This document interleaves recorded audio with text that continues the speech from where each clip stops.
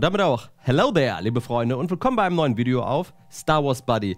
Heute wird's wieder richtig wild, denn wir packen ein neues Lichtschwert aus. Ihr wisst schon, dieses schöne Ding habe ich ausgepackt im Wert von knapp 400 US-Dollar. Dann gab es auch schon ein kleines anderes Unboxing für ein Lichtschwert unter 100 Euro. Und ich habe ein, ein, ein sehr interessantes Angebot geschickt bekommen. Für ein Lichtschwert, was normalerweise 55 Euro kostet, plus 11 Euro Versand aus China, also insgesamt 66 Euro, auf Wish es gab an diesem Tag aber eine Aktion mit 70% Rabatt auf alles. Ich habe es bestellt. 19,80 Euro insgesamt aus China, inklusive Versand, für das hier. Es wurde angekündigt auf über einen Meter. Wie ihr unschwer erkennen könnt, ist es jetzt nicht wirklich ein Meter, aber vielleicht ist die Technik, die dahin drinne steckt, weil man ja normalerweise 55 Euro dafür bezahlt, gar nicht so schlecht. Es soll Sound haben, es soll Geräusche haben, es soll Licht haben, es soll wechselbar sein, es soll Hit und Clash haben. Das heißt, wenn du damit Dinge berührst, dann soll das auch reagieren. Ich kann es mir noch nicht wirklich vorstellen. Es sieht halt wirklich mickrig aus. Und genau das werden wir jetzt auspacken. Es wird eine Katastrophe.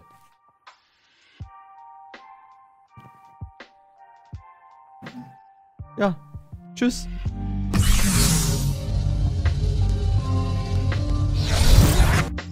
Ich sage es an dieser Stelle schon mal vorab.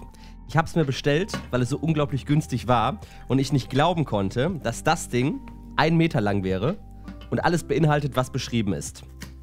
Ich ahne jetzt schon absolut Schlimmes. Okay, es sieht sehr günstig verarbeitet aus und ich glaube, wenn ich jetzt mal so reinschaue, das ist auch wirklich alles, was da drin ist. Oh, dann? Ah, eine Bedienungsanleitung. Das ist ja fantastisch. So, der Hund, da, da, ja, willst du das haben? Hau rein damit. Darfst du haben. Ja. Willst du mal deinen Karton zeigen? Ich glaube, der Karton ist hierbei das Beste am ganzen Paket. Auf jeden Fall findet der Hund das so. Was soll das denn sein? Es ist tatsächlich eine Bedienungsanleitung vom Start, wie man das Blade in den Griff bekommt, feste macht. Die Bedienungsanleitung hier, top-notch. Wer die geschrieben hat, der weiß, der weiß einfach, wovon man redet. Ach du Scheiße. Es ist halt wirklich, wirklich so klein, ne? Aber vielleicht kann man es auch als Shoto-Schwert nehmen, ne? Ahsoka Cosplay Incoming, Leute. Ich habe ja insgesamt momentan drei äh, Lichtschwerter in verschiedenen Größen und vor allen Dingen Qualitäten hinten liegen. Eins ist ja hier noch. Zwei lustigerweise werden noch kommen. Ein, mein eigenes Weihnachtsgeschenk. Das ist äh, von der Qualität wieder in die ganz andere Richtung. Und noch eins von Wish, was wir aber im Laufe der Zeit dann noch hier aufmachen, was quasi das beste Qualitätsschwert auf Wish ist, was man bekommen kann. Auch das habe ich mit der 70% Bestellung bekommen, weil es sonst halt ein bisschen zu teuer wäre. Gut, was wir hier haben, zum Festschrauben. Was wir hier haben, ist...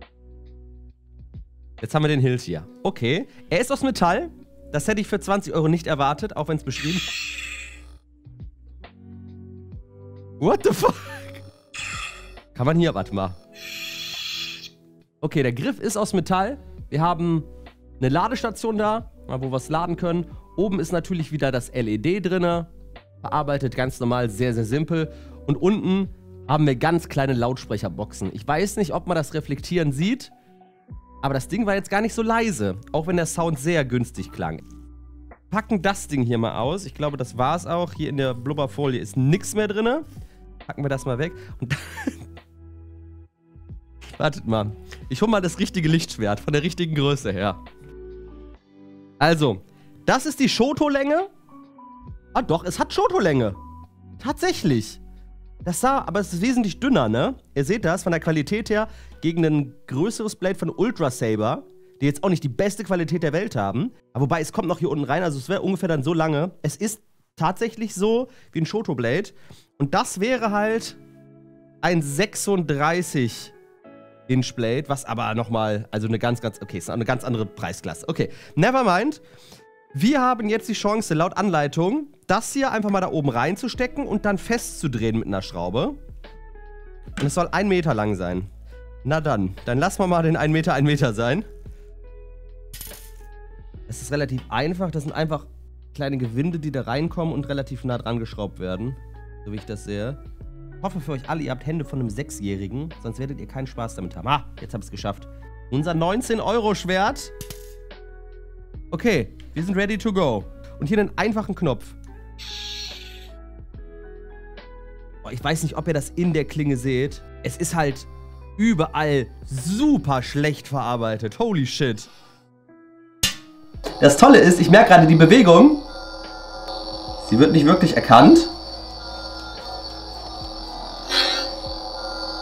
Oder nur sehr verzögert. Alter, die habt ja komplett die Verzögerung. Wir versuchen mal die Farbe zu wechseln. Was jetzt gerade nicht wirklich funktioniert. Oben die Spitze, da ist halt nicht mal mehr die Folie drin. Das scheint auch irgendwo verklebt zu sein. Ganz, ganz komisch gemacht. Als wäre das nicht da drauf gesteckt, sondern nur mit Tesa dran geklebt. Hier sieht man die Folie teilweise durchscheinen. Ich weiß auch nicht, was das soll. Wir gucken mal, wie man die Farbe ändern soll. RGB-Mode, Button-Click, Free also dreimal klicken, um die Colors zu changen. Okay. Dann machen wir das doch mal. Okay, ich habe jetzt gerade nochmal auf Wish geschaut. Zwei Sachen, die mir aufgefallen sind. Auf der einen Seite soll es anscheinend gar nicht die Farben wechseln können, sondern wir haben hier Orange, was jetzt nicht so hart durchscheint. Und B, ich habe nochmal wegen dem Preis geschaut.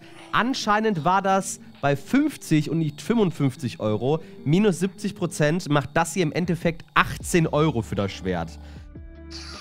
Wir probieren das Ganze mal im Dunkeln aus. So Leute, wir haben es jetzt etwas dunkler gemacht.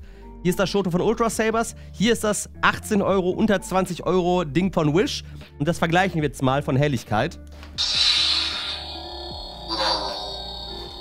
Shoto von Ultra Sabers. Hier sehen wir auch schon in der Verarbeitung halt, das sind krasse Unterschiede. Gar keine Frage. Und natürlich auch in der Dicke der Klinge. Das Ding momentan, glaube ich, 60 Dollar oder 60 Euro, irgendwas von beiden auf jeden Fall auf Ultra Sabers. War eine Dreingabe bei mir damals. Ganz ehrlich, für unter 20 Euro. Metallgriff, der okay verarbeitet ist, nichts Besonderes, aber er ist okay verarbeitet. Mit der Klinge, mit dem Sound.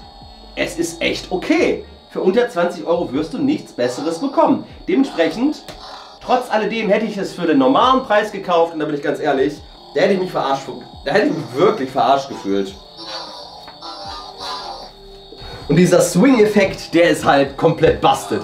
Der reagiert halt null so, wie er sollte.